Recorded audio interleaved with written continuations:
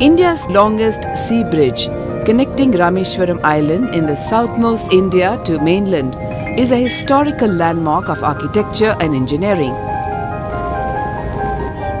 The construction of the bridge was started as early as during 1870 in the colonial era.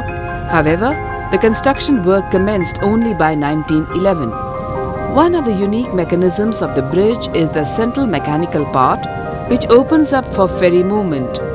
Central part of the bridge was designed by German engineer Scherzer. The Scherzer span allowed 10 to 15 ferries to pass from beneath the bridge on a daily basis. The main motive behind bridge's construction was to cater devotees and connect them to sacred pilgrimage of Rameshwaram.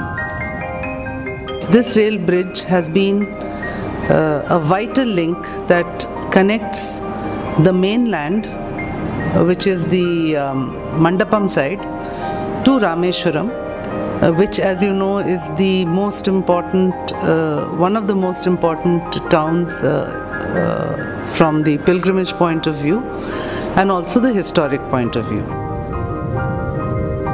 The span was later replaced in 2017 by an electrical alloy span and its strength was approved by a team led by IIT Madras.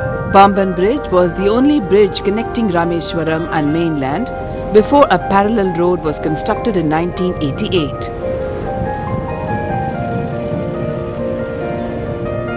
The bridge has withstood tests of times and major cyclones. Famous railway bridge was about to close in 2006.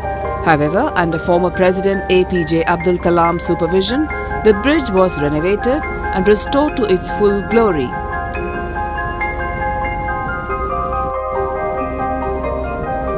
The Pamban Bridge has great significance for tourists for its scenic location. Railway officials are vying for UNESCO's World Heritage Site for the bridge. The formalities and documentations have already been initiated by railways.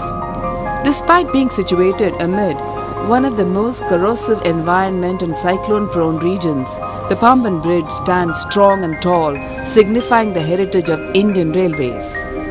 Rameshwaram Madurai section is soon to be electrified. Tests have been conducted on the bridge to install electrified traction. Pamban Bridge remains to be the center of attraction for it has been regarded as an example of longevity. The bridge is a wonder for many engineers as it was built in the times when technology was primitive